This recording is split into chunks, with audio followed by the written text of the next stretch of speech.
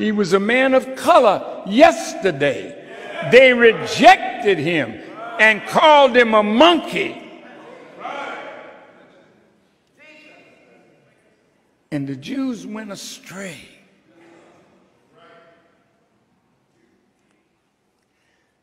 See, Moses' law was broken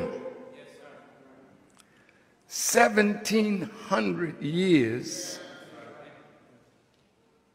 after Moses. A wicked fellow named Nimrod broke the civilization of Moses. And the whole earth went into darkness, spiritual darkness. And Jesus was born in that darkness, out of that darkness. And he was telling the Jewish people, you've got to go back to what Moses and the Israelite prophets taught you.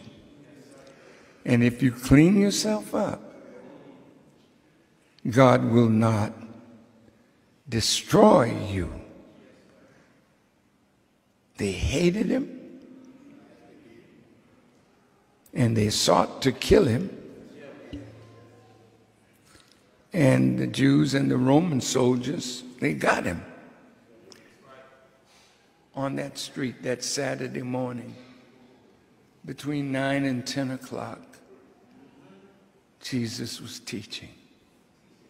Right.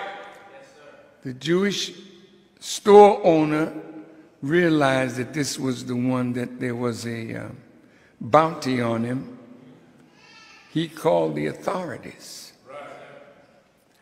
And when the authorities came and they saw Jesus, they ran to get him and bring him to the authorities. Yes, And they started arguing among themselves, the two soldiers, because one said that he got there sooner than the man on the left. And listen to how sharp the mind of Jesus was. He said, The soldier on my left, you did not get me first. The man on the right, was three tenths of a second ahead of you. That soldier walked away. And the Roman soldier that was bringing Jesus to the authorities started bargaining with him. You brought him in dead, you get $1,500. If you bring him in alive,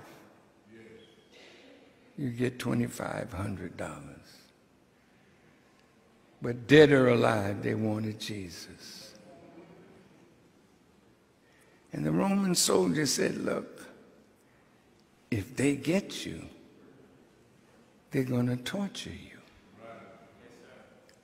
So why don't you let me kill you? it'll be so quick you would not feel it.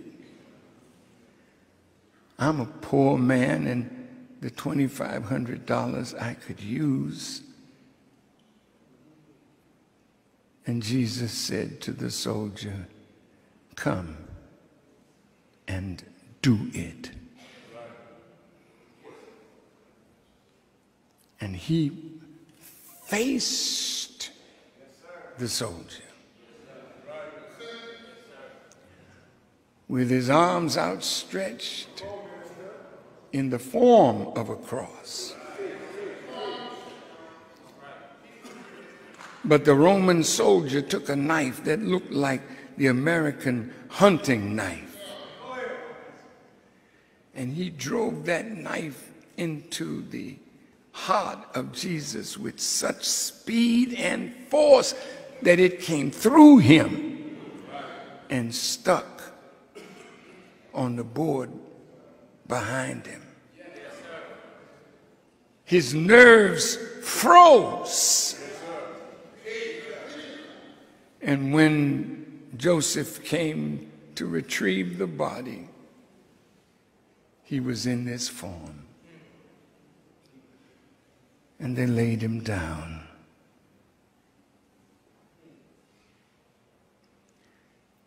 The reason I love Jesus so much, and of all the subjects and histories that the messenger taught me, I taught the history of Jesus, the best of all the histories, not knowing. Not knowing that I was teaching about myself. Don't clap, don't clap. Just sit, listen, think.